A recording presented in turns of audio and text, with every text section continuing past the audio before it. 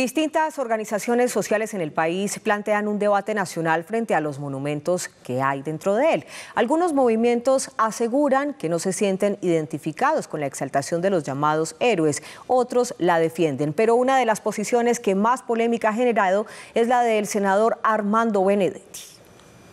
Un debate nacional se ha generado en torno a la invitación del senador Armando Benedetti a través de Twitter. Ayúdenme a hacer una lista de las estatuas que habría que tumbar en nuestro país y las razones, por favor. ¿Quién quita que se dé un grupo para hacerlo legalmente y si no, el derribamiento a la estatua de Sebastián de Belalcázar abrió el debate nacional y el caso más reciente en Medellín es la quema del monumento a los héroes en el Parque Bicentenario.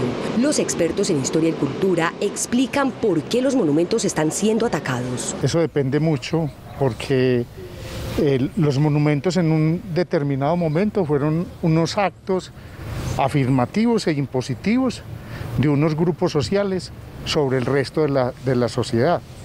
Y por eso el monumento entra a ser un campo de disputa por quienes no se sienten representados en esos actos conmemorativos o de heroización.